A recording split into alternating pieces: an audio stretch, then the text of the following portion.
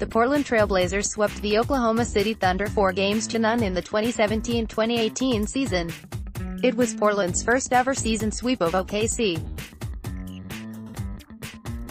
The Blazers did sweep the then Seattle Supersonics during the 2002-2003 season, win no. Three of the four-game season series may have been the most entertaining one of all. And it continued a stretch of games during which the Blazers dominated the Thunder. Portland's 108-100 victory on March 3 at the Moda Center was its fifth straight win over OKC, as well as the 11th win in its last 15 contests against the Thunder. In addition to its continuing mastery over the Thunder, Portland was also beating everybody else. This would be the sixth straight win for Portland, a streak that would eventually stretch to 13 games. And the Blazers were starting to put together complete games with dominating, shutdown defense when it counted most and an offense that was getting contributions from up and down the lineup. More from analysis In addition to their win over OKC, the Blazers had beaten the Golden State Warriors, the Utah Jazz and the Minnesota Timberwolves during their streak. And they were just getting started. Thunder Blazers, the Oklahoma City Thunder, 37-27, faced the Portland Trail Blazers, 36-26, on March 3 having won three in a row and five of their last six. Russell Westbrook was the game's high scorer, 30 points, and leading rebounder, 11. But he was hounded into a horrid shooting night, 12 31st field goals, by an active and relentless Blazers defense. In fact, Portland's defense held the Thunder to a 44% shooting night. The Blazers got solid minutes from their two usual suspects, C.J.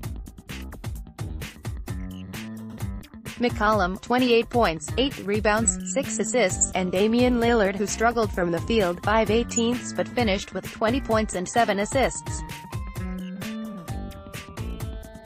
But they also got 17 points from Evan Turner, his third highest points total of the season.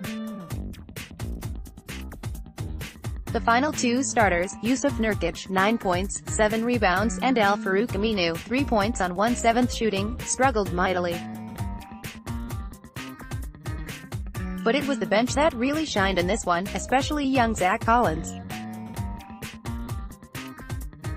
bench to the rescue. Collins, the 20-year-old rookie out of Gonzaga University, played one of his most complete games of the season. He scored 12 points on 5-6 shooting, including two halves from three. He also snared five rebounds and blocked two shots. His point total was his career high at the time, ultimately, it was his second highest scoring output of the season. In short, it was the kind of game that Rip City expects its young big man to achieve night in and night out. And it was almost certainly a glimpse toward a bright future for Collins. Shabazz Napier added 7 points. Pat Connaughton and Ed Davis both pitched in 6 points. Davis also grabbed 10 boards and Portland's bench outscored their Thunder counterparts 31-22, but as we wrote at the time, the bench provided much more than just defense. In the end, it was Pat Connaughton, Ed Davis and Zach Collins who really showed out.